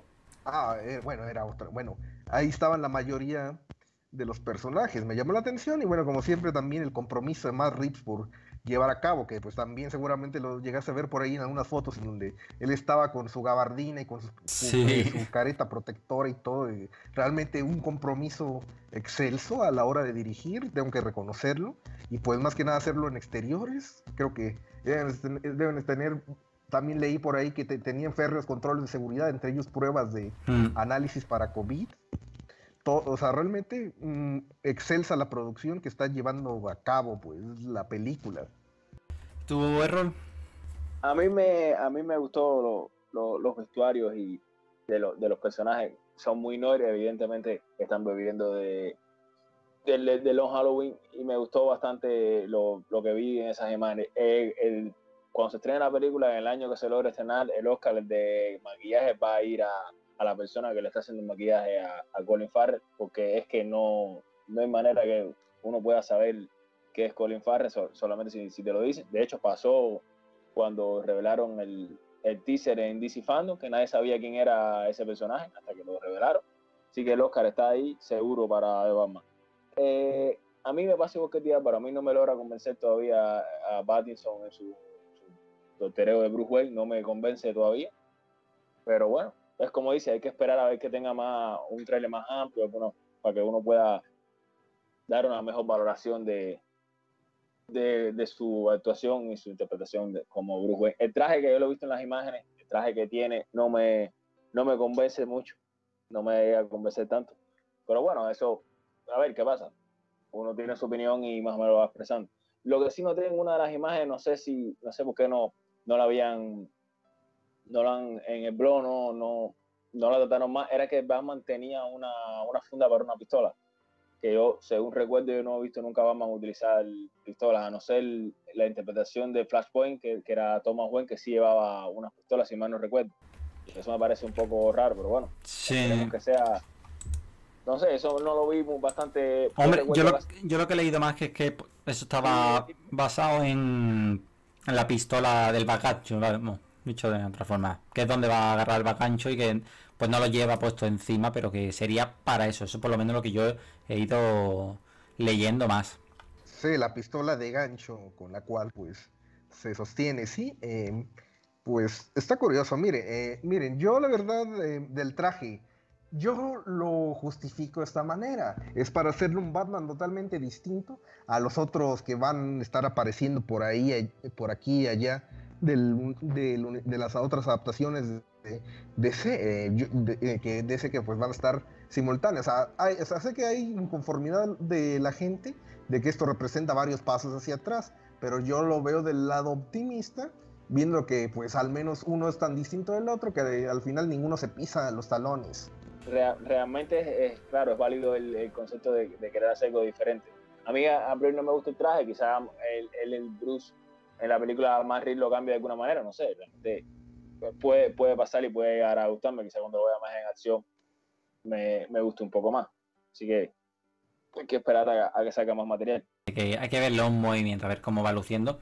Y bueno, también muy rápidamente se han filtrado unas imágenes de lo que era una escena de Halloween, una fiesta de Halloween. Y ahí ha sorprendido a todos que se han visto a varios figurantes, a varios extras, luciendo trajes de superhéroes y en concreto vemos a uno disfrazado como el Superman de un diseño tradicional clásico que recuerda al de Christopher Reeve, al Superman de, los 70, pero también llegamos a tener a, a un Batman y creo que también teníamos a una Catwoman, si no recuerdo mal, e incluso a una Cheetah. Esto ha levantado muchísima expectación porque también ha habido la filtración de unos, unas imágenes de un periódico de Gotham y se hace especial mención a Metrópolis y también se comenta así un comentario diciendo que bueno que la gente miraba al cielo esperando ver a, quien tú ya sabes. Es decir una clara referencia a Superman. Por tanto la, lo que se concluye es que existe Superman en este universo. Lo que no se sabe es cuál va a ser porque recordemos que los acontecimientos de Batman se sitúan en una tierra diferente al del resto de películas de DC, su propia tierra. Por tanto, es normal que tengan su propio Superman, pero no sabemos quién va a interpretarlo. Había alguno que lo relacionaba con el Superman de Christopher Reeve, ¿no? Que podía ser la mismo, pero bueno, eso ya lo veo un poco, un poco más, más locura. Pero a mí me ha gustado ese guiño que nos han dejado ahí a, a Superman. Además de que hay más referencias a, otros personajes. De hecho, hay imágenes del set que hablan de, de incluso hay alguna referencia indirecta a Mr. Freeze. Hay varias cositas así interesantonas, incluso a Ice si no me equivoco. Pero bueno, eso de incluir a Superman yo creo que es un, una manera muy interesante de decir que existen otros superhéroes en, en esta tierra de, de Batman. Si es que realmente todo al final es como, como creemos que, va a ser. Yo pienso que solo puede ser un easter egg a manera de referencia. Eh, la fiesta de Halloween se supone que es parte de la, de la filmación, Álvaro. Sí, se supone que sí, que lo que estaban rodando como tal era una fiesta de Halloween, por eso había la gente disfrazada, había el típico disfraz de, pues yo que sé, de calavera, ¿no? Ese tipo de, cosas muy, muy típicas de Halloween, pero también los superhéroes. Y hasta había otra persona vestida de Batman, por ahí también vi. Sí, un Batman bastante descuidado, bastante así dejado un poco físicamente, pero se supone que sí. Yo ya pasa que estaba empezando a dudar si eran imágenes reales del ser o de gente, ¿no? Que estaba disfrazada después de otros años, ¿no? Cosas así. Pero, pero sí, teóricamente que también hay Batman, que eso también sí me ha sorprendido mucho porque qué pinta de repente hay Batman si se supone que... Bueno, no, sí, realmente encaja, porque cuando estábamos viendo esta película ya ha tenido actividad Batman. De hecho, creo que era el segundo año, ¿no? O algo así, el segundo o tercer año. Sí, el segundo, el segundo año me parece. Y estaba, había un traje de, Wonder Woman también. Y exacto, de Wonder Woman. De Wonder Woman. Es decir, que existen otros superhéroes. A mí me, gusta, aunque sea un easter egg, una referencia ahí oculta, pero lo he visto una manera, una manera elegante de, de dejar claro que existen más superhéroes que, por ejemplo, en el Batman de Christopher Nolan como que era una duda, ¿no? Que estaba ahí, si había otros héroes, si Batman era el único que existía, cómo, cómo estaba la cosa, ¿no? Nunca se hacía esa referencia. Y así, bueno, pues dejan ese guiño, aunque al final nunca lleguemos a, ver a Superman en esta tierra, o a lo mejor sí, ¿no? Pero bueno, no. Antes de la cuestión de, los universos compartidos, los crossovers y así, sí había algunos guiños de la franquicia de Batman y de Superman y viceversa. Por ejemplo, en Forever, en Batman Forever y en Batman y Robin de los 90, hacen guiños a Metrópolis y a Superman, pero pues así son cosas superficiales. Sí establecen a Metrópolis por el diálogo, que es otra ciudad, otra ciudad diferente, pero pues la cuestión de Superman es más como una broma ahí. Y en Superman regresa de Brandon, con Brandon Root, también mencionan a Gotham City, mencionan, eh, hay una escena en donde mencionan que es uno de los lugares en los cuales Superman ha ido a, eh, ha, ido durante su recorrido mundial tras regresar al tras regresar tras regresar a la Tierra y darse y pues presentarse de nuevo con la gente. Es cuando yo vi esa, esa referencia dije, "Wow", era como pues una ilusión lejana verlos en algún momento interactuar así en la pantalla. Ahora pues con lo, Ahora, pues con los, con los tiempos, yo la verdad invito a la gente a no hacerse maromas mentales pensando que eso ya implica la posibilidad de que otros superhéroes existan en ese universo. momento, pues lo importante de esta historia es el propio Batman. No hay que pensar que esto sea pie a un reboot o pie a cualquier otra, otra cosa o aparición. Es que, bueno, estas referencias siempre las las van a ver, son fáciles de poner, realmente no creo que hay que, hay que, hay mucha gente que pues les gusta las teorías, que les gusta sumirse tanto en las teorías que ya lo que pues sacan es pura, eh, lo que terminan encontrándose o, haciendo en su cabeza, pues es, es todo un delirio mental en ocasiones.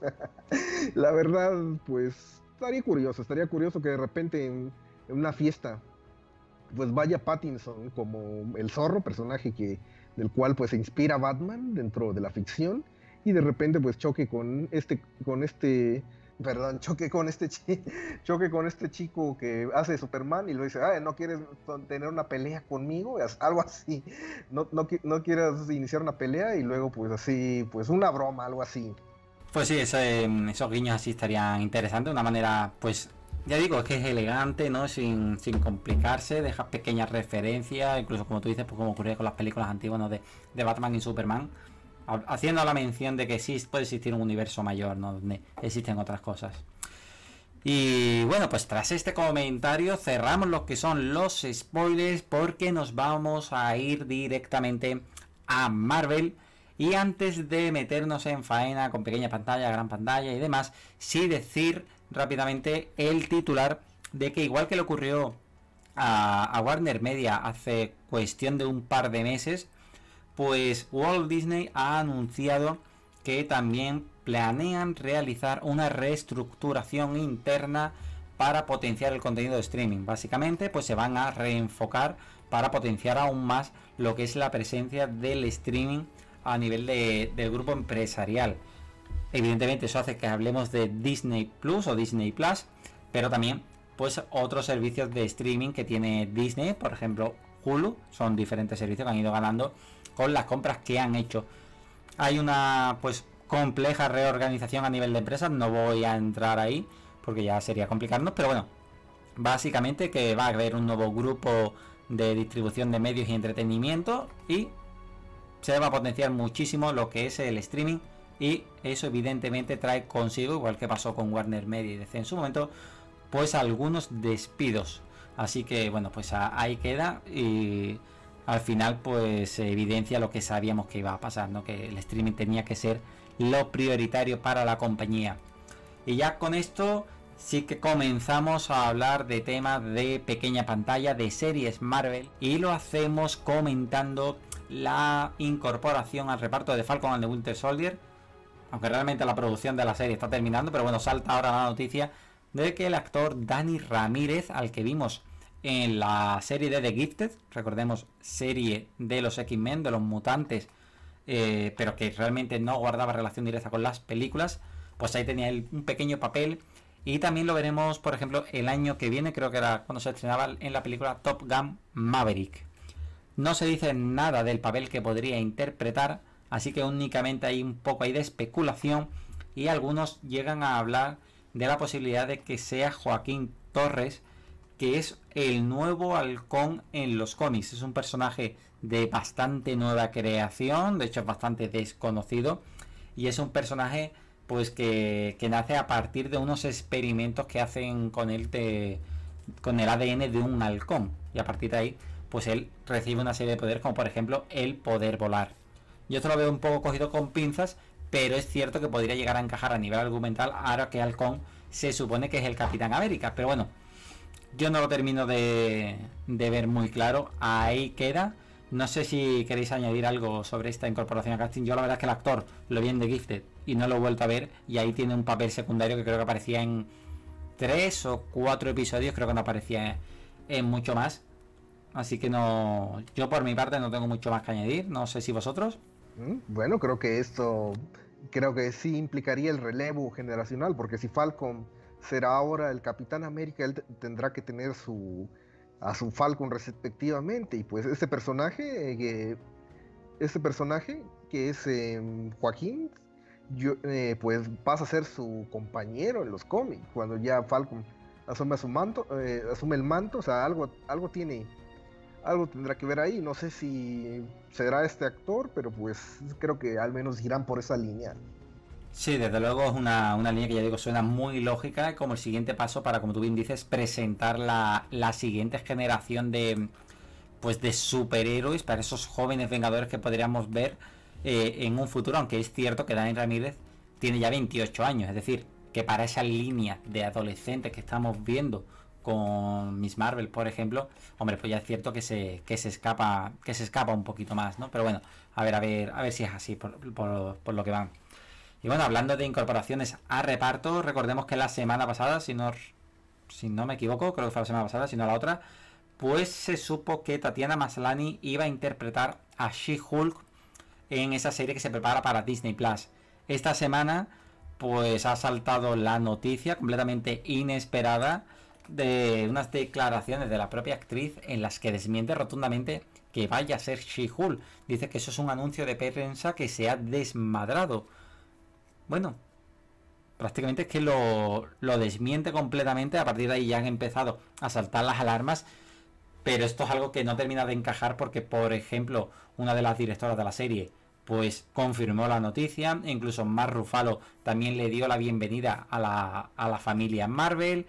Y bueno, realmente esto es claramente un movimiento por intentar echar balones fuera, por hacer que la atención se vaya a otros lados, como hicieron varios actores en el pasado. Ya a partir de aquí han empezado a salir artículos, pues recordando cómo algunos actores llegaron a desmentir sus incorporaciones al universo Marvel cuando se, habían empezado a filtrar. ¿no? Algunos de esos actores pues son Paul Rudd, Benedict Cumberbatch, Evangeline Lilly o Jeremy Renner. Son nombres que sonaron y después cuando se les preguntó a los actores, pues dijeron que no, que no sabían de lo que les estaba hablando. Ya digo, yo estoy... Confirman. ¿Perdona, digo? ¿Perdona? no, ni, no niegan ni confirman. ¿Cómo olvidar esos, Totalmente. titulares? Totalmente. Y también el actor Jonathan, no me acuerdo su apellido, pero también el que está fichado supuestamente para Kang también sí, pasó lo mismo. Cierto, cierto, cierto. Ese es lo que pasa que sí jugó un poco más al despiste. No fue tan rotundo como, como Tatiana, que sí directamente dice que, que esto no, ¿no? Que esto no, no tiene nada que ver. El otro como que sí ahí ni confirma ni mentira como, como tú dices, ¿no? Yo me enteré también por la misma fuente que tú y, se reía, ¿no? Así que, bueno, también habría que ver. Para estas cosas sí que gusta ver las declaraciones en vídeo para ver también la cara del actor, ¿no? Que muchas veces, aunque su boca dice una cosa, la cara al final nos dice otra. Ahí es lo que, lo que ha faltado. Sí, eh, pues habrá que, habrá que ver. Con eso eh, acabamos lo que son las series de Marvel y ya nos vamos a ir al cine y lo hacemos hablando del trepamuros, lo hacemos hablando de Spider-Man, de esa Spider-Man 3 que se prepara para la gran pantalla y sobre la que ha habido multitud de rumores todos estos días. Uno de los grandes rumores que han sonado es que eh, los actores Andrew Garfield y Tobey Maguire ya habían firmado para ser parte de la serie. Uy, otra vez, hoy estoy con la palabra serie ahí cruzada, para ser parte de la película y, que prácticamente porque se confirmaba ya la idea de Spider-Verse. Bueno, en un giro de los acontecimientos, un medio ha contactado directamente a Sony Pictures, en concreto ha sido el, medio ET Canadá, los que han hablado con, con Sony y un representante les ha dicho que esos rumores de casting no están confirmados. Esta ha sido una elección de palabras también un tanto curiosa porque no han desmentido los rumores, ni dicen que sean ciertos, ni que sean completamente falsos, no, dicen que no están confirmados, dando como a pie a que uno pueda pensar que sí que está habiendo negociaciones, pero claro que esto todavía no es algo que se haya hecho realidad, que todavía no podemos confirmar la incorporación de los actores, pero parecería que están en camino.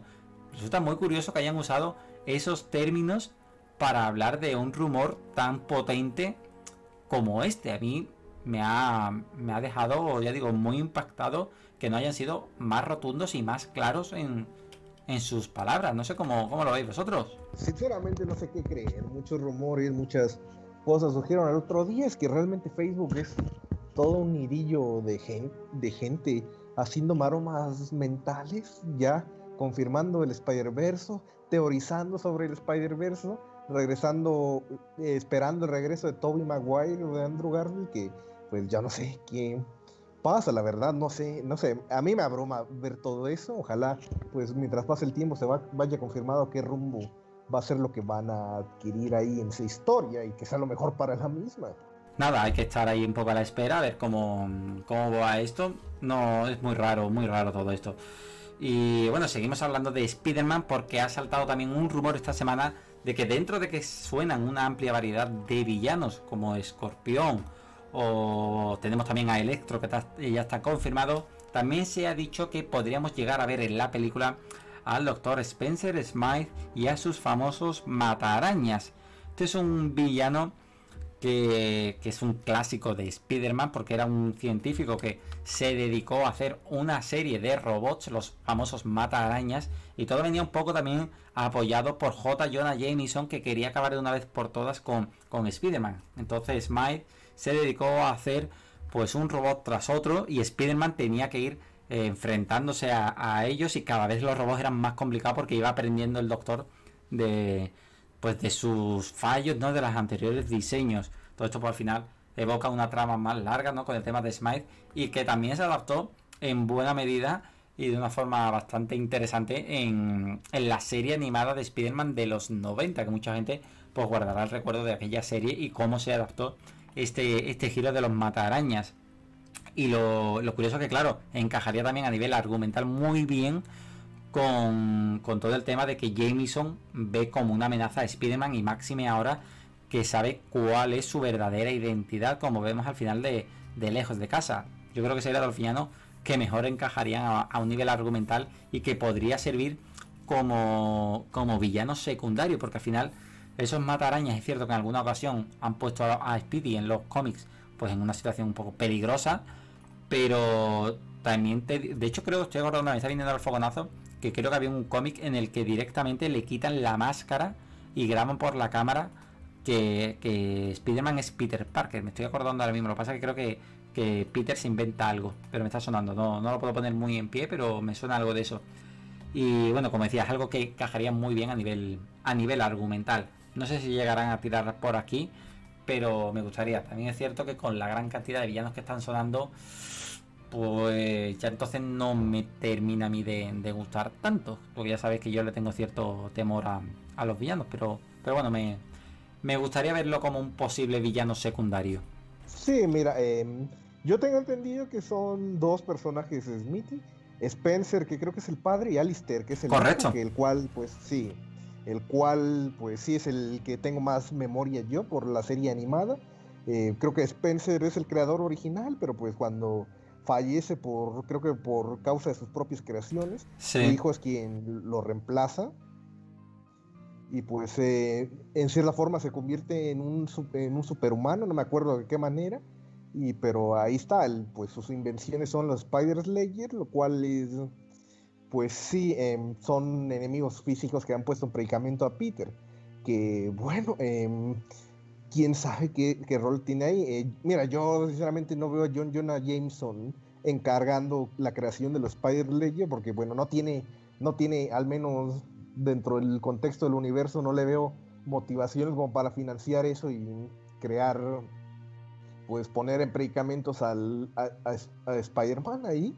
Em, realmente ha sido algo, una cuestión que no me ha convencido con el personaje de Jameson dentro de los cómics de por qué se gasta, o sea, sé que puede, usar el poder de la prensa, pero eso ya de, eso ya de, de crear, de mandar pagar villanos para que vayan por Spider-Man, me parece algo excesivo. Sí, un poco excesivo, sí que pues rayando ya en casi lo imperdonable, no sé, realmente que sabrá Dios cuál, cuál rol tengan ahí, ojalá, ojalá pues sigan el rumbo de rumor.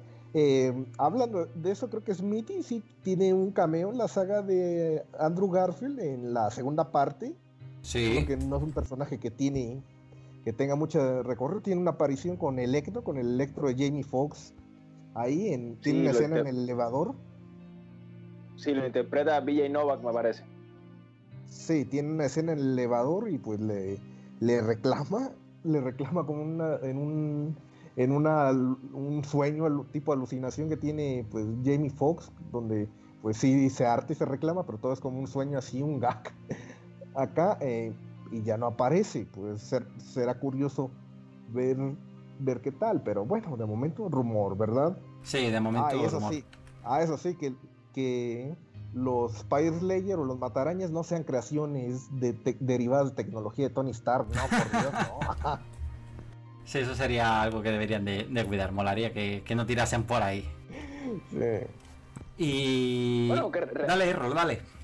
Sí, realmente, sí, nomás no recuerdo cuál es el otro, el otro competidor tecnológico que tiene Tony en el UCM. Yo creo que yo no he visto, no sé, puede que yo no recuerdo ningún otro, otro competidor Sí, el de, Iron Man 2, ¿no? El. Ah, no me sale ahora. Hammer. Hammer. Ah, Justy Hammer, sí, pero Justy Hammer eh, fue un, un pequeño, una piña pincelada en la fase 1, sí, recuerdo Puede ser que, o lo más probable es que tiren de ahí, aunque a nadie le guste eso, que sean de, de creación derivada de una tecnología, como lo hizo como el buitre, que su traje era derivado, bueno, el buitre era de, de, los, de los alienígenas de los Chitauri. Pero bueno, en fin, puede ser lo más probable que sea de Tony Stark si casi todo de, este Spider-Man ha sido una, un derivado de, de, Tony Stark. Realmente con respecto al personaje, con respecto a, mí, a mí las películas de Spider-Man me gustan mucho, no, no, no, esto no es, es un cumplido, ah, no, no es una crítica, ni es un cumplido, es algo en el medio. Eh, a mí la, yo no sé, este personaje de, de Mitty que sí sale en la segunda parte como de, en Rise of Electro, como decía Diego, no sé, puede ser un, quizá lo veo más como una pequeña aparición, algo más al estilo de esa, de esa, de, de Amazing Spider-Man 2. Puede ser que, que, sea algo así a ese estilo, porque es verdad lo que dice Álvaro, se está cargando un poco la, la película de Spider-Man 3 y que fuera Avenger Game. Entonces, no sé, me parece que tienes que cuidar un poco más los personajes que están introduciendo o que están confirmando para la película. O bueno, rumorando en este caso.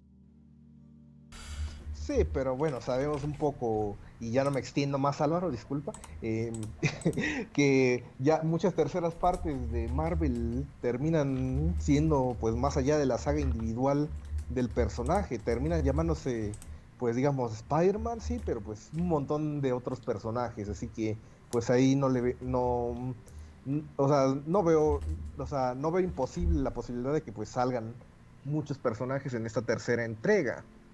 A ver qué, es lo que hacen porque está. Es que está cargado y están sonando demasiados rumores y hay que aclararlo ya de, alguna manera tajante. Por eso decía también antes lo de que Sony tenía que haber sido un poquito más directa, por lo menos para mi gusto, con, con este tema. O venga, vale, que deje esas declaraciones y a los días, pues que nos sorprendan con el anuncio oficial para aclararlo, porque están sonando cosas muy raras. Pero bueno, precisamente a este respecto, decir que la película ya habría empezado su rodaje en Nueva York se dice que ya habría algunos actores que habrían participado en ese rodaje, tanto Zendaya como Jacob Batalon, pero Tom Holland todavía no, porque de hecho está rodando las escenas de Uncharted aquí en España, así que todavía no se ha incorporado a ese reparto.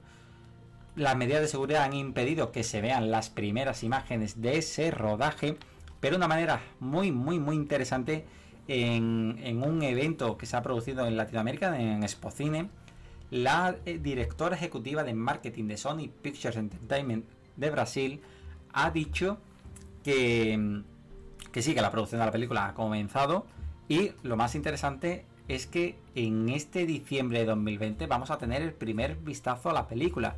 Y de hecho estuve usando los términos de preview y de teaser trailer. Es decir, no estamos hablando de una imagen, estamos hablando de algo en movimiento. No tengo muy claro qué es lo que vamos a ver. Tiene pinta de que será algún spot así muy rápido de pocos segundos donde no requieran de grandes efectos especiales y algo así sencillito. De hecho, por ejemplo, se me está viniendo incluso a la mente algo como lo que se hizo en su momento con el Spider-Man de, de Sam Raimi, ¿no? esas escenas con en las torres gemelas que después se tuvo que, quitar de la película por causas obvias, pero algo así que, que, sea una escena muy rápida que no que nos deje muy claro que se trata de Spider-Man, pero no requieran de una espectacular gasto a nivel de, efectos especiales que se puedan quitar rápido, porque estamos hablando de dos meses, bueno, de menos de dos meses de, trabajo para, poder verlo. A mí me ha sorprendido muchísimo eso. Una imagen promocional, Álvaro. ¿Tú crees que será solo una imagen promocional? No sé, ya habla de, preview, de teaser trailer, es decir, eso implica algo de movimiento. Yo, de hecho, pensaba que iba a ser una imagen. Cuando vi el titular así en, lo ves en las noticias, no antes de hacer la, de hacer la publicación, digo, ostras, pues esto va a ser la típica imagen que se lanza, como hicieron con Lejos de Casa, donde se veía a, Peter Parker, de hecho ni se veía a Spider-Man, solo a Peter. Y bueno, pues era eso, pero a mí que vaya usado esos términos de teaser trailer, me avanza que sea algo en movimiento. Entonces, a ver, a ver con qué nos sorprenden. Y bueno, seguimos hablando de noticias relacionadas con el trepamuros, porque precisamente también esta semana ha soltado el rumor bastante interesantón de que Sony Pictures y Marvel Studios ya estarían moviendo pieza para dar el salto con el personaje de Miles Morales, de que se prepara su adaptación en formato live action y es más, ya tendrían hasta actor escogido para interpretarlo. Bueno, mm, esto sí que ha cogido muy por sorpresa a los fans, de hecho ya se habla de si es demasiado pronto para introducir a un personaje como Miles, porque realmente el Spider-Man de, de Peter Parker en el UCM está dando sus primeros pasos. Y, y sí hay que recordar que lo que es el personaje, en cierta forma, si se sentaron sus bases, pues Donald Glover interpretó a Aaron Davis, el tío de Miles, en Spider-Man Homecoming. Y de hecho había una escena eliminada donde directamente creo que hacía mención a, a Miles o le llamaba por teléfono o algo así. Es decir, que se ha introducido en cierta forma lo que es la familia de Miles para ahí habría un camino. Pero bueno, a mí el tener ya Miles, ya digo, me resulta un poquito pronto. No sé si lo veremos en Spider-Man 3 o en otra película. Quizás lo que sí pueden llegar a hacer es cómo se ve en el videojuego. de Marvel's Spider-Man, que en la primera, en esa primera entrega, vemos a Miles como civil, para al final del juego ver cómo se transforma ya en, en Spider-Man, por lo menos cómo adquiere sus poderes y ver ahí que le pide ayuda a Peter Parker. No sé si le pide ayuda o se cruzan, no sé cómo, pero bueno, al final Peter le empieza a enseñar a Miles cómo ser un, un superhéroe y cómo convertirse en Spider-Man. Y eso daba pie pues al videojuego que vamos a tener este próximo noviembre de, de Miles Morales. No sé si a lo mejor algo así podría encajar, pero ya digo, yo sigo viendo muy pronto ver a, ver a Miles. No sé si vosotros creéis que está bien que lo introduzcan ya o, o si esperaréis también un poquito. Mira, el elefante en la habitación, aquí está la cuestión, es que pues Miles Morales, aunque en principio tuvo una recepción controvertida cuando fue su creación hace Sí. cerca de 10 años, ya está teniendo un rol muy activo dentro de todas las adaptaciones y también dentro de los propios cómics de Peter. O sea, junto con Miles, actualmente pues nos permite hacer cosas con... permite a los creativos hacer cosas que pues ya Peter no puede hacer desde hace 30, 30 años por la cuestión de que, bueno, sí es un personaje joven, pero pues siempre ha sido un adulto, ya lleva décadas siendo un adulto, por lo cual Miles es una cuestión fresca. Pero pues el, el problema, el conflicto que veo con el UCM es que el propio Peter Parker ya también incorporó elementos de Miles para el Parker de Tom Holland. O sea, pues ahí está su amigo Ned, que pues en los cómics se llama Ganke, eh, sus dinámicas que tiene en Queens, eh, un poco, un, poco del... O sea, hay muchas cosas del, del, del Peter de Tom Holland que pues bebe directamente de Miles y eso sería caer en la repetición pero pues probablemente pues ahí pueda existir, pero pues veo un, veo un problema, un problema bastante grave, introducirlo como Spider-Man, que ahí te va otra cuestión que no, no muchos ignoran de momento, es que también está- estamos viendo personajes jóvenes dentro del UCM, de los cuales pues están en una liga, están, son personajes recientes como Miss Marvel, como em, América Chávez probablemente Nova, personajes que están teniendo pues su boom actualmente. El Nova de Sam Alexander, como vemos en, la serie de Ultimate Spider-Man, están teniendo actualmente pues su repunte. Y Miles Morales es parte de ese grupo. O sea, que pues el no tenerlo y no, o sea, tenerlo y no tener, tener a sus demás amigos y no dejarlos interactuar, interactuar con ellos, también sería un problema, pero por otro lado tenemos el desarrollo de Peter Parker como Spider-Man en, soli- en solitario, o sea que realmente, o sea, acá ahí hay un problema para introducirlo por muchos, por muchas vertientes, Álvaro. Yo creo que, que realmente es muy pronto.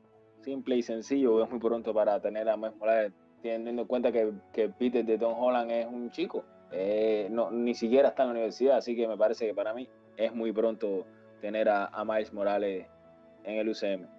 Sí, precisamente por eso que estaba ahí comentando Diego, así que, que interesa más, porque está claro que este Spider-Man tiene que ir evolucionando, que lo vamos a ver en la universidad, y quizás cuando dé ese salto, cuando encajaría más ver a este Miles. También es cierto que no sabemos eh, en qué momento temporal se va a situar esta tercera de Spider-Man ni en cómo va a terminar. Entonces quizás se está empezando a sentar unas bases bueno para el futuro, ¿no? Pero bueno, a ver, a ver por dónde van, porque ya digo, es otro rumor, porque también estamos dando por hecho, bueno, mejor dicho yo, porque vosotros no lo habéis dicho tanto, pero bueno, que puede aparecer en esta Spider-Man 3, a lo mejor aparece en otra parte del UCM, no, no necesariamente, pero bueno, a ver qué es lo que hacen, porque incluso podría ser un proyecto por separado, un proyecto propio o algo, algo así. O sea que a ver, a ver, a ver qué hacen.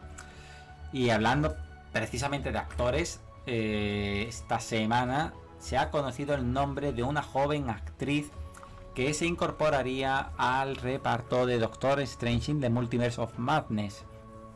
Lo interesante es que sin llegar a decir nada se ha lanzado, se ha levantado muchísima especulación. Se trata de la actriz Chochil Gómez que se suma al reparto de la película y ya muchos la ven como una potencial América Chávez. ¿Por qué se dice esto? Bueno, porque es una joven actriz latina, aunque yo por la información que he visto nació en Canadá, por tanto se ve que será de los padres en latina, y precisamente hace un par de meses estaban buscando una actriz puertorriqueña de entre unos 12 y 15 años para interpretar el que potencialmente iba a ser el papel de, de América Chávez en la película de de Doctor Strange. Y precisamente eh, Gómez tiene 14 años, por tanto encajaría perfectamente. No está claro que vaya a ser América Chávez, porque es más, ni tan siquiera hay plena seguridad de que América Chávez vaya a aparecer en la película. Lo que pasa es que sí encajaría bastante bien por todo lo que es la historia del personaje, que forma parte pues, de, una, de una realidad alternativa, donde ella además pues, puede viajar por el multiverso, es decir, todo encajaría muy bien para, para que ella estuviese.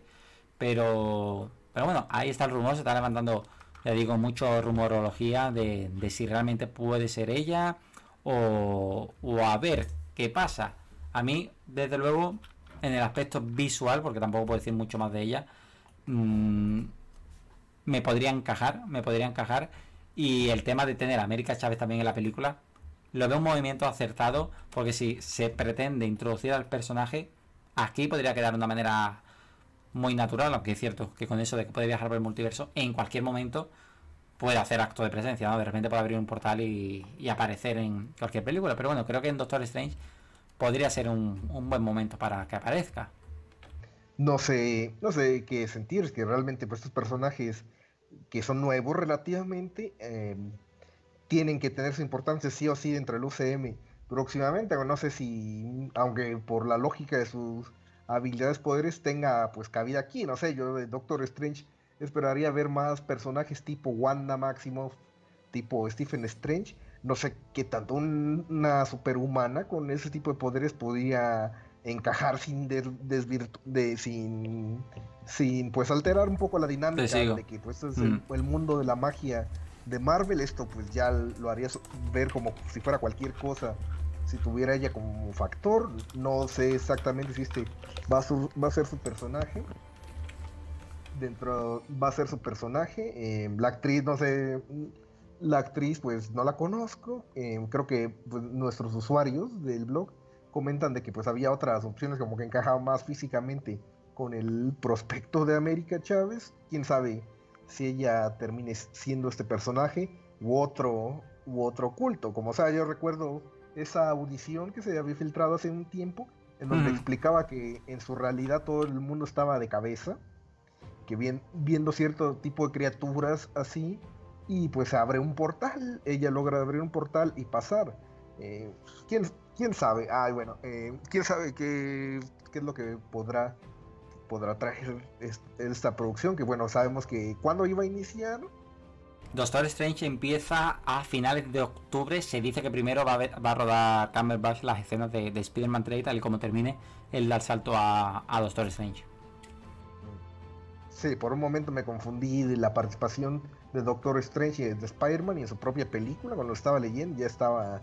Sí, es, que esto es un, un, cagado porque además que hay un montón de producciones que están en estos meses, de aquí a principios de, del 21, que hay un montón de fechas entre series y, películas de Marvel y DC. Yo a veces también me, me lío tela, vamos. De hecho, ahora estaba mirando que, que ahora justamente estaban saliendo unas, unas primeras imágenes de del rodaje de Shang-Chi en, en, San Francisco, aunque no se ven los actores, sino que es lo típico de. El típico set de decorado, ¿no? Lo, típico que ya se empieza a ver movimiento de que se ve que en estos días pues vamos a tener cositas, incluso. Vamos, yo creo que el rodaje comenzó ayer o hace un par de días, no ha comenzado hoy domingo, así que no sé a ver si se filtra algo. Hablando del tema de los rodajes, esta semana se ha reafirmado que el rodaje de Thor Love and Thunder va a comenzar a principios del 2021. Todo esto viene a raíz de ver que los actores principales, tanto Chris Hemsworth como Natalie Portman, además del director Taika Waititi, estaban ya en Australia, pues pasando el rato, no parecía que estaban haciendo tiempo hasta empezar a rodar lo que era la película de Thor Love and. Y claro, ya se empezaba a decir que si el rodaje iba a comenzar antes de 2021, eh, que era la fecha en principio prevista.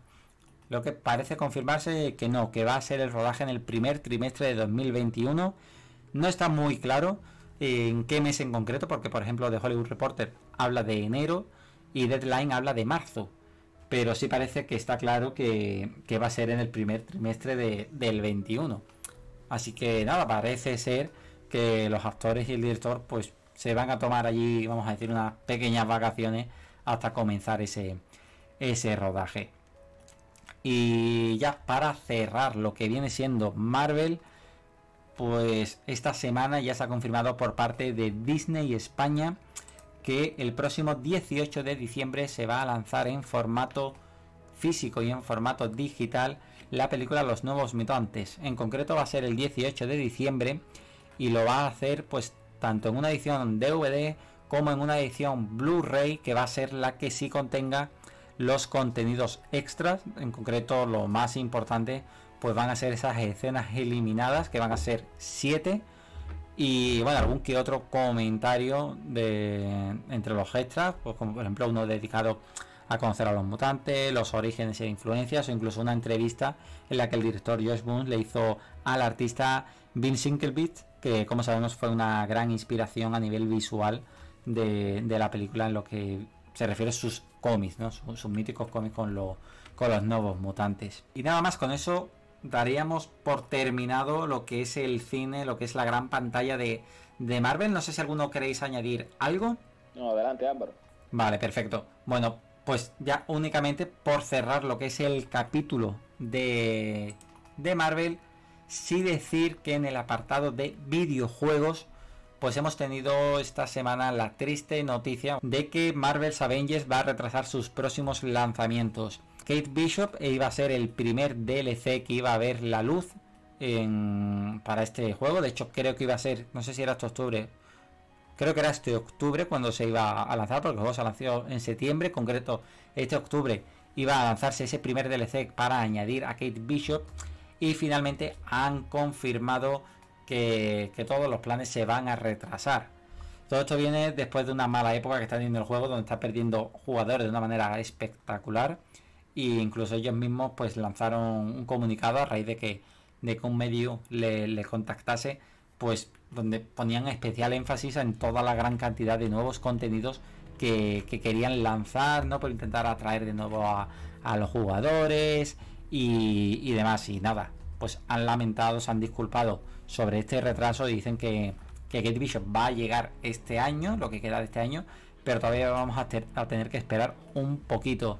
Y de la misma forma han dicho que el lanzamiento del juego en la siguiente generación de consolas, es decir, en Play 5 y en las dos series de, de Xbox, la serie X y la serie S, tampoco se va a producir tan pronto como esperábamos. De hecho, no se va a producir con el lanzamiento de las consolas, sino que vamos a tener que esperar hasta el 2021 para poder disfrutar de esas versiones del juego para, para las nuevas consolas. Lo peor es que tampoco han dicho fecha, así que los futuros planes del juego se quedan en el aire.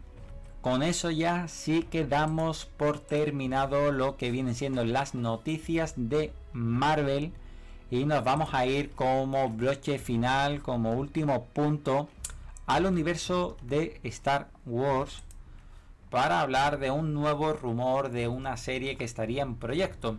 Entonces sumaría a la gran retaíla que haya de proyectos que yo ya hasta he perdido un poco la cuenta, ya no, no tengo, hace un tiempo sí lo tenía en la cabeza muy clarito, ya, ya me estoy empezando a liar, porque se habla de un nuevo proyecto para Disney Plus y lo que en principio se empezó a decir que era un spin-off centrado en el personaje de, de Cara Dune, ese, ese personaje al que da vida Gina Carano en la serie de Mandalorian, donde precisamente debutó y va a regresar también para la segunda temporada, pues aunque se dijo que iba a ser un spin-off centrado en ella, lo que ha empezado a decirse es que realmente sería una serie protagonizada por ella y por Bo Katan, un personaje que vimos en, la serie animada de Clone Wars.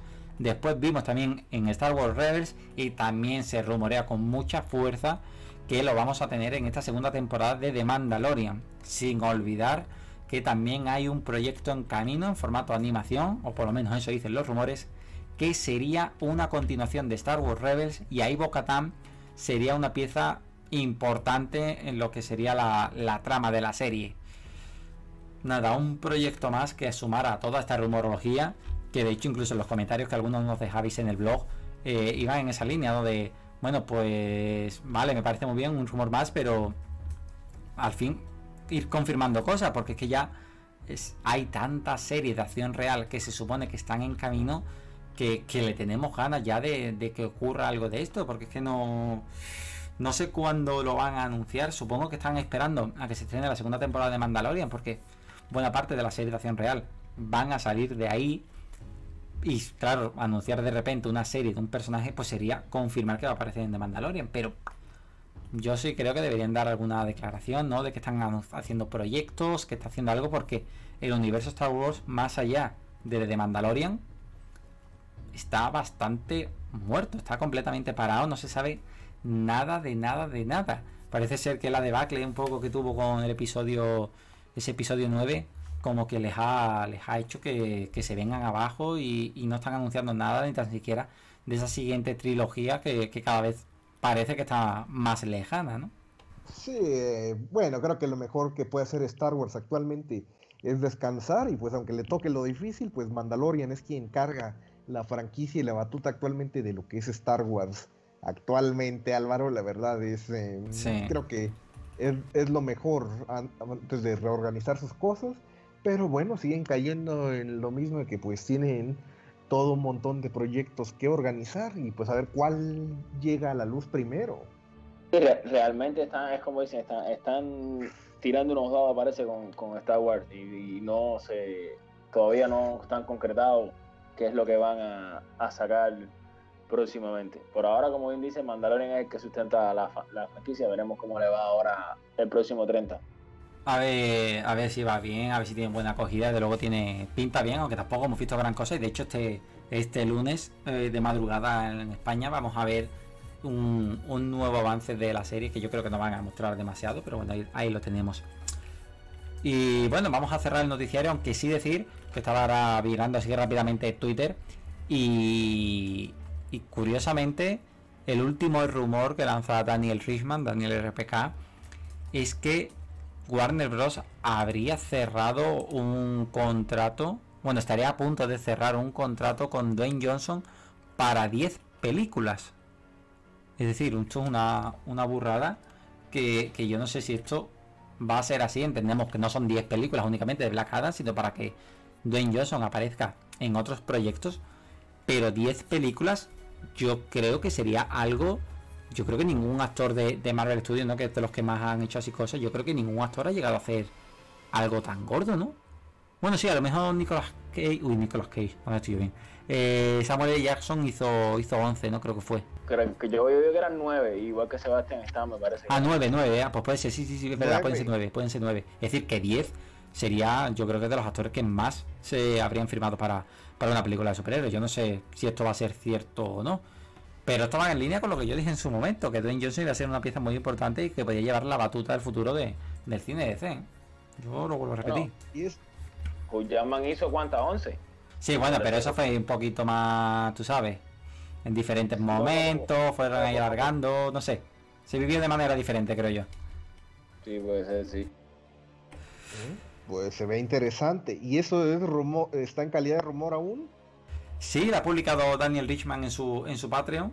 Que bueno, pues ahí está. No sé a ver, a ver si realmente esto se, se, va confirmando o no, porque últimamente tampoco cuando suman, se están sumando estos actores a los repartos no, no se está filtrando los contratos, ¿no? ¿no? No se sabe, como ocurría con Marvel en su momento, no está pasando así. Así que, no sé. A ver, a ver, a ver, a ver, a ver qué hace.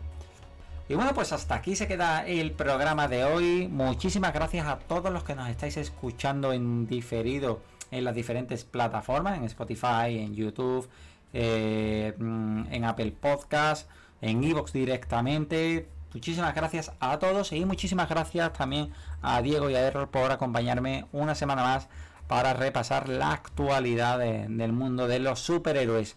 Muchísimas gracias y nos seguimos viendo. Adiós. Adiós. bye bye.